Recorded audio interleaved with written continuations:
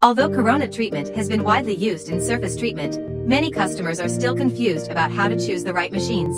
It generally consists of two parts, frame, and the, the generator. From the perspective of output power, generators are divided into small, medium, and large power. Small power generators have oil immersed and dry types. The 2000 series is oil immersed. 2000E and H series are dry types. Please choose a more suitable heat dissipation method according to the use environment and the dry type would be easier to transport.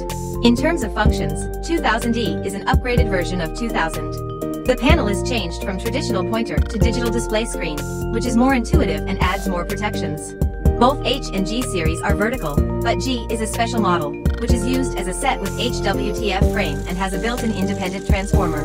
Follow us, we will focus on medium and high power generators in the next video.